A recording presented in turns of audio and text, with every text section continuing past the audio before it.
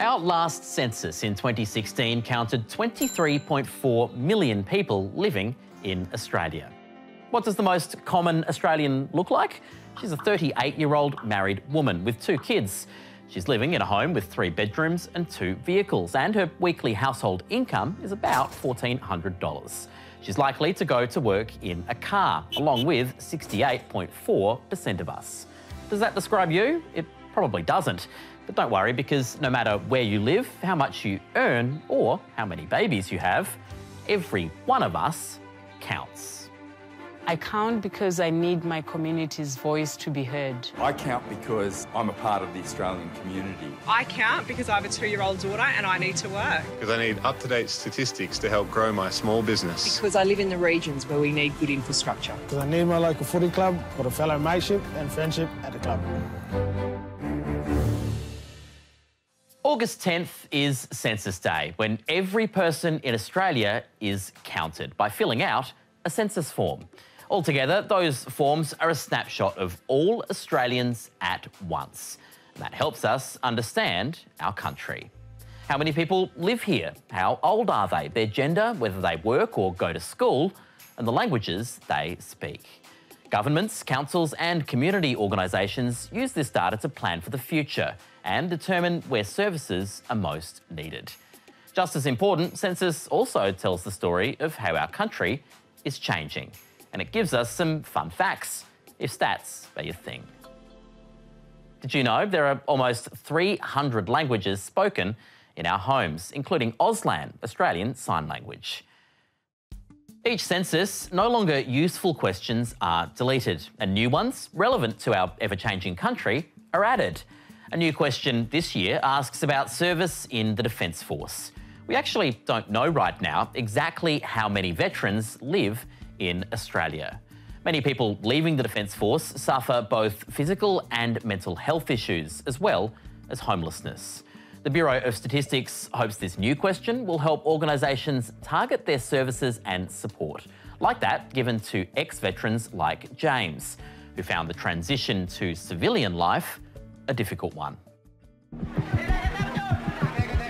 Winds and winds, just so much water. People were torn from their chairs, they were sucked out of buses, they were thrown up second, third story windows. It became apparent very quickly that we were headed into one of the most catastrophic natural disasters that any of us had ever seen. Uh, pretty much everyone in all of the houses on the beachfront has disappeared.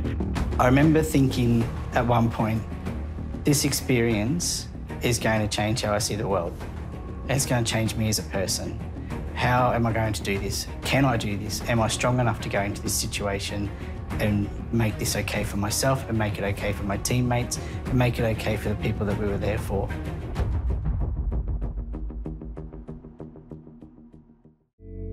Being in the army was my dream job. I had a family of friends, mateship, where we could rely on each other to get the job done. When you leave, that identity is no longer there and you feel alone. I went to Banda Aceh and within five weeks of coming home, I was discharged voluntarily. There was no follow-up. I was on my own for a couple of years before our uh, unit sergeant actually called me.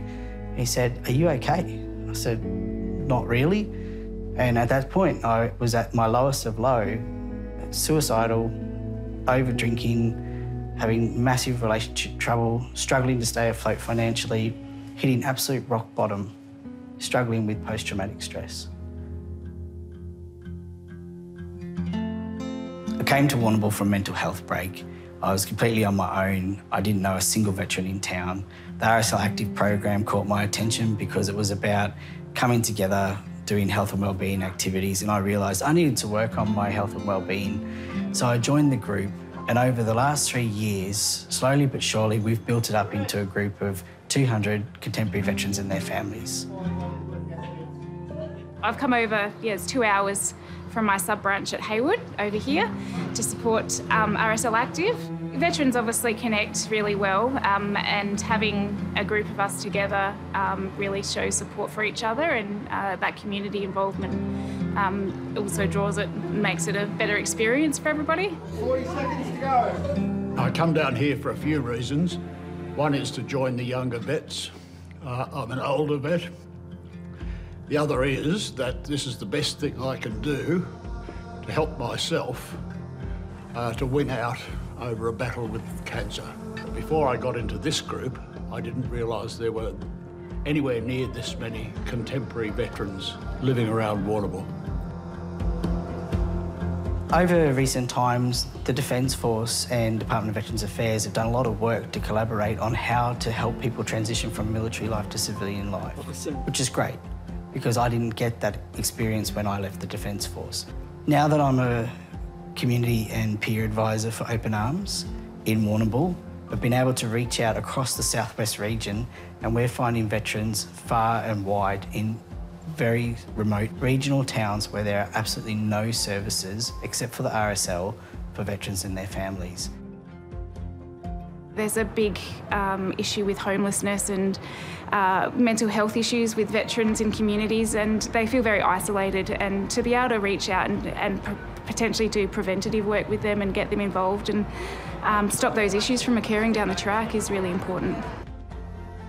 Being able to tick the box on the census and say, I served in the Defence Force, is a moment to be proud of. It's something that anybody that served one single day can tick that box for, and you should go ahead and tick it.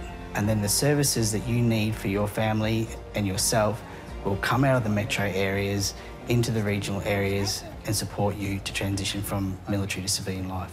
And that will make all the difference and it will save lives.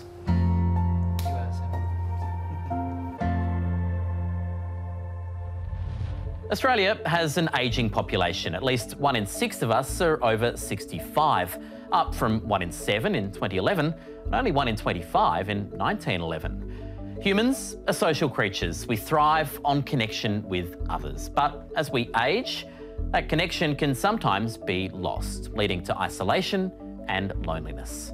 The City of Burnside in Adelaide has found a way to combat isolation through its programs aimed at mature members of the community. You could say they're a pretty tight knit group.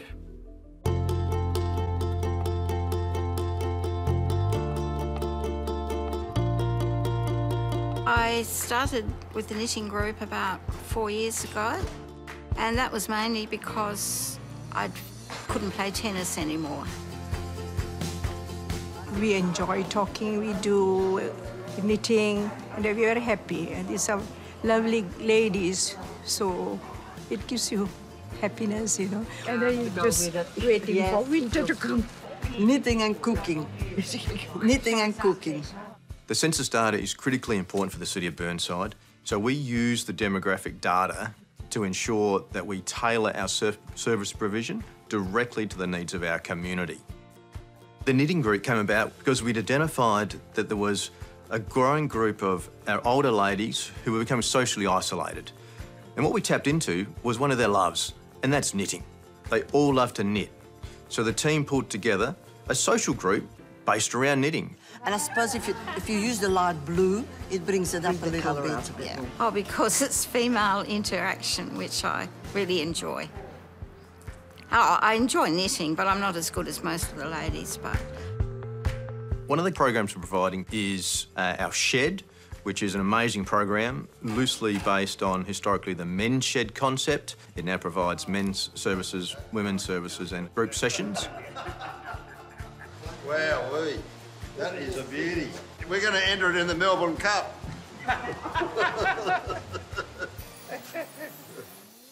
They're all uh, fun activities, but the main emphasis is on social interaction to look after our older residents' social and mental well-being. Good one. Thank you. Oh, yes, I made a lot of friends in this group. I think it's very important and to look after the elderly, especially these years that we're being gone through and what's still to come, of course, is very important. To look after the elderly.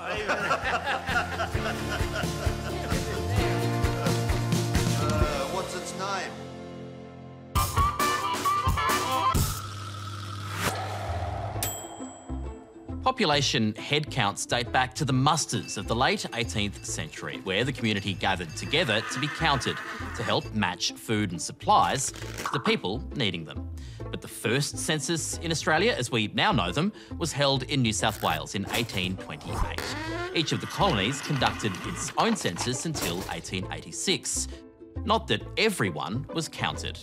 Some Indigenous Australians living on reserves were counted in early censuses, but that changed when, at Federation in 1901, the new national constitution ruled Aboriginal natives shall not be counted. That appalling law took more than 65 years to rectify. For 1911's census, around 7,300 people collected 4 million census cards from across the nation on foot, bicycle, and horseback. 3,600,051. Those 4 million cards were then counted by hand. Uh, sorry, mate, I think you've missed one there. One, two. Back then, censuses were supposed to be held every 10 years, but a few big events got in the way. The 1931 census was pushed back due to the Great Depression. 1941 was delayed due to World War II. The census isn't just about urban planning. Early 20th century counts contributed to a medical breakthrough, helping find the link between infectious disease rubella and birth defects. In 1961, the census went high tech. A new collecting machine was built to tabulate the data. A mechanical computer so big it couldn't fit through the census office doors. They had to cut a hole in the wall just to get it in the building. That big boy didn't last long though. Five years later, it was replaced by electronic computers. In 1971, Aboriginal and Torres Strait Islanders had finally been acknowledged as Australians. Census collectors started travelling to remote communities so that everyone could be counted.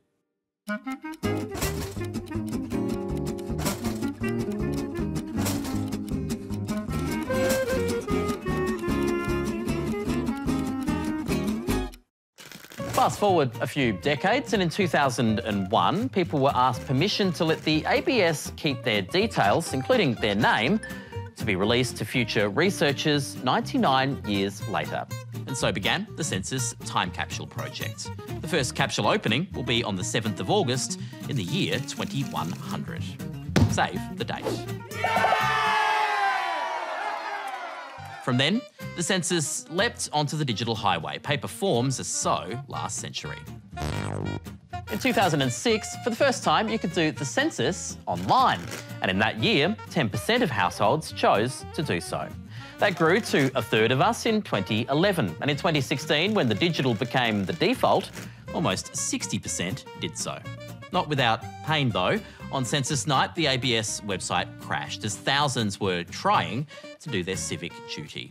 With Australians being denied service, the Bureau eventually shut the website down to prevent information being stolen. And that brings us to today. To avoid the problems of five years ago, we now don't all have to do the census at once. For the first time, there's a window to complete it. Fill it out whenever suits you. And Census 2021 should be very illuminating a snapshot of the way we live and work amidst a global pandemic.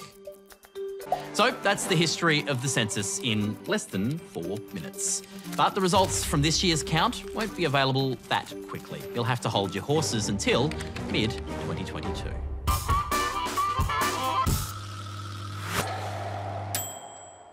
Australia is a migrant nation, increasingly so, with a rich mix of backgrounds and heritage. In 2016, more than a quarter of our population was born overseas, and we know that number is growing. England remains the most common overseas birthplace, but people born in China are a growing share. Now, 8.3% of all migrants. 7.4% of migrants were born in India. According to our last census, one fifth of Australians spoke a language other than English at home. The most common language was Mandarin. 2.5% of us spoke it at home in 2016, up from 1.6% in 2011. Language barriers can make it harder for people from migrant backgrounds to connect with others in the community. One not for profit in South Australia has found a way to bring young people from migrant and refugee backgrounds together. They found the universal language football. I'm Zara and I'm 21 years old, originally from Afghanistan. When I joined One Culture team, I didn't know anyone. And I, of course, I didn't have any friends. But here I have a lot of friends. We are all friendly. Girls and women from different ages, different backgrounds, they can come down and play as a team. And we play games, we share experiences, we share food, we play together, and it's fun. They love it.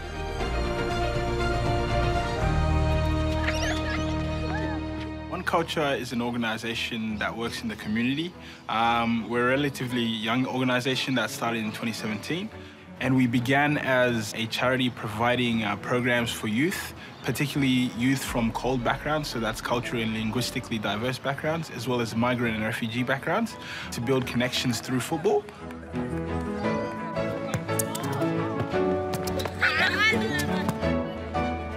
My name is Raya.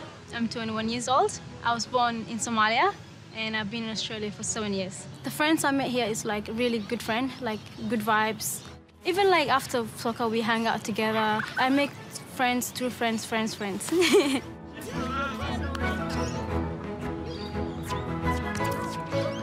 biggest challenges for migrants and refugees vary, but particularly for young people, it's adjusting to the environment, particularly at schools um, and especially when uh, language is a big barrier. We found in our data and our research that sport plays a very important element in that transition because it's not as heavily reliant on language skills and that gives an opportunity for those migrants and refugees to be better incorporated within the community. The census has really informed the need for our programs in terms of the community profiles for the specific areas that we work in and why the interventions that we're using through sport um, are needed for those specific communities. And the approach that we take at One Culture Football is that prevention is better than cure.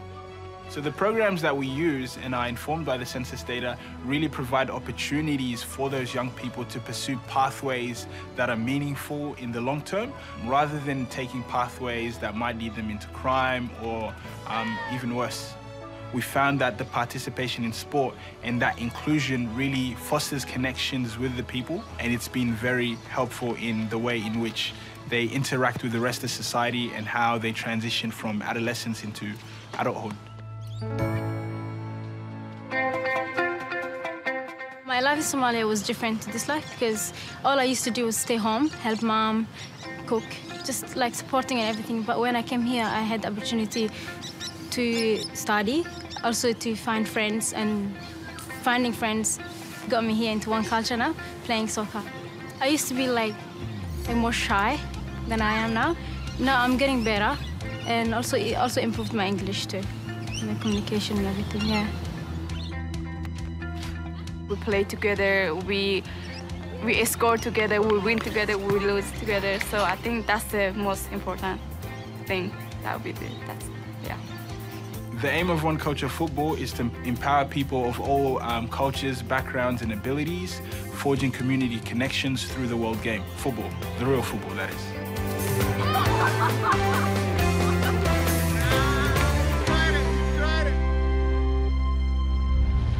We fill out the census in the place we spend the night on August 10th. For most of us, that's our home. But everyone counts, including some of our most vulnerable, the homeless.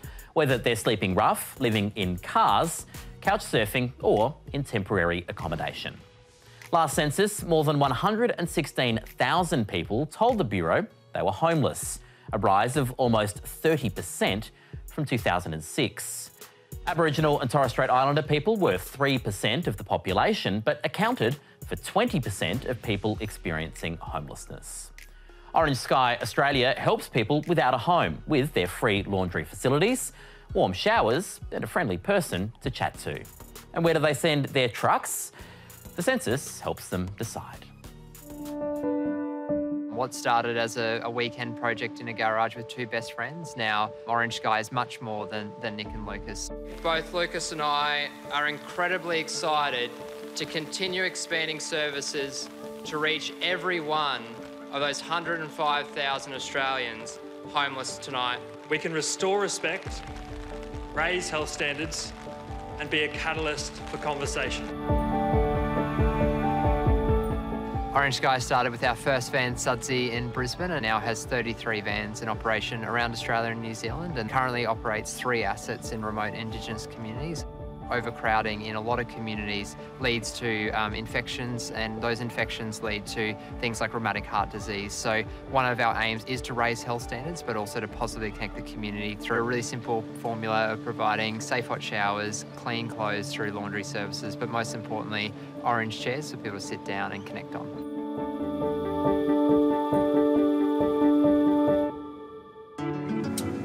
On this island, you'll see a lot of couch surfing.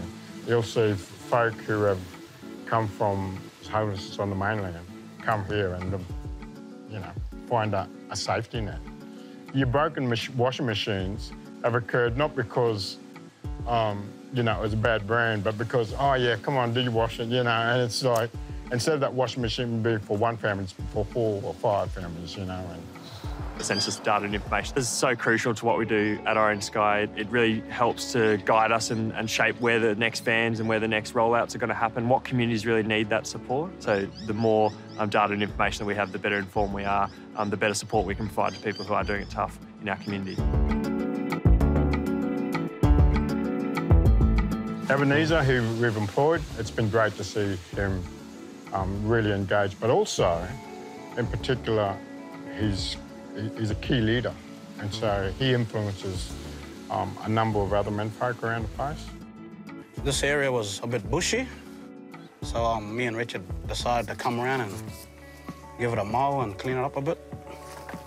We also run a, a small business which is a um, um, lawn maintenance, and so some of the folk that we've engaged through Orange Sky then flowed over into, into that. And that's because of the the conversations that we've had around the van.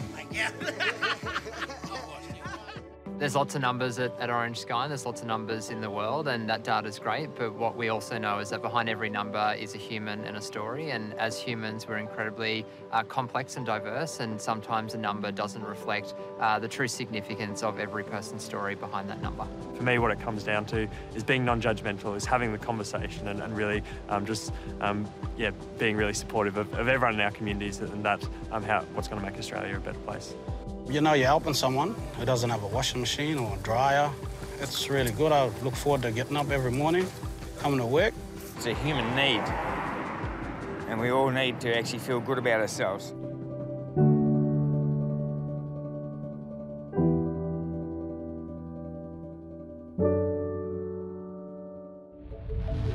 50 years ago, Aboriginal and Torres Strait Islander people were finally included in the census, thanks to the 1967 referendum. Last census night, almost 650,000 people identified as Aboriginal or Torres Strait Islander, up from 116,000 in 1971. The Indigenous population of southeast Queensland is one of the largest and fastest growing in the nation. And to ensure these communities get the support they need, the Institute for Urban Indigenous Health is increasing its health services, especially for young mothers.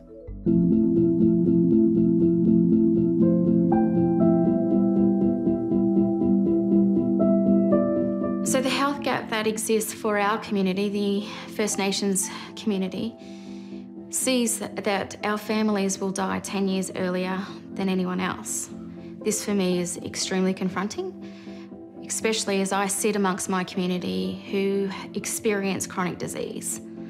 I now have the opportunity here with the Birthing in Our Community program to completely change that, to focus on prevention and to help our families carry their baby for as long as they possibly can so that child can be strong and healthy and enter the world like everybody else and have the same health equity that any other person has the human right to, to access, to have, to hold.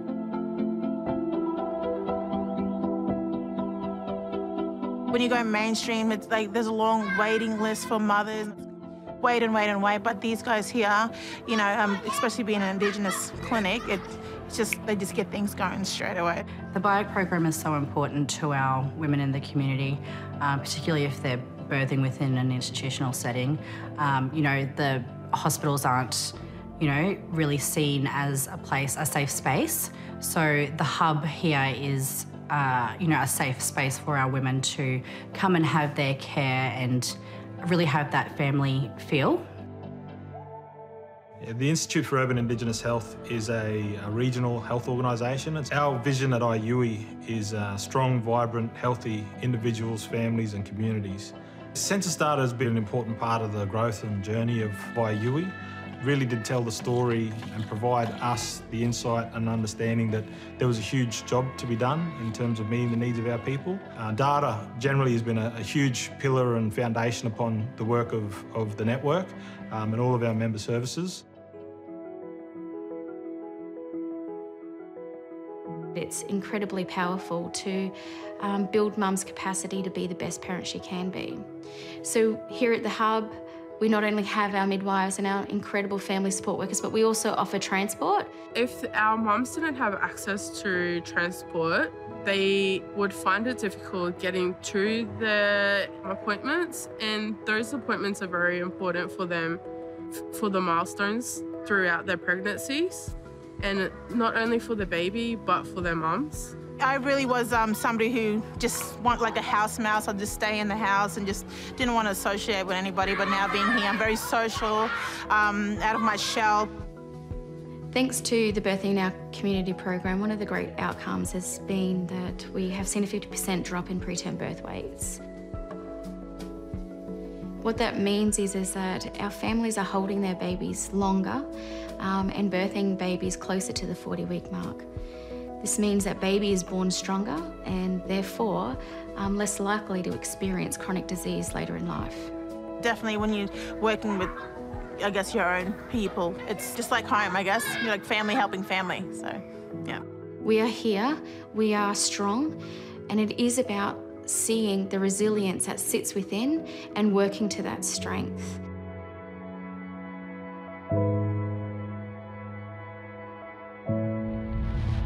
On the topic of babies, in 2016 we welcomed 311,104 newborn bubs into this country. That's almost twice as many babies as were born in the 1946 baby boom. And in the census, everyone counts, even if they're just one day old. You might just need to give them a hand with the paperwork. Because in August 2016, thousands of babies were missing. The undercount for zero to four year olds was 5.1%. That's one in 20 kids. Understandably, some of those parents may have had quite a bit on their plate, especially if they're still in hospital. It's easy for parents to forget sometimes, so we just give them a helping hand. Cute Babies is the perfect way to end this journey into the census and why we count. To help paint a picture of who we are as a nation, how to build a better future for all Australians, and hopefully, the census affects how governments spend our hard earned taxes for the next generation. And with that in mind, I'll leave you with a message from that generation with their ideas on how they'd improve Australian lives. If I had a million dollars, what would I buy? Beds. Or cars. Clothes. And showers. Oh, well, I'm out of ideas. Or help people to get homes, buy new schools, I think. And after I give them everything they need, I might get them a pet or something. uh, maybe a spiny leaf insect or a snake or a turtle or a dog or maybe a cat. And food. That's what I would spend it on. Lots and lots of food.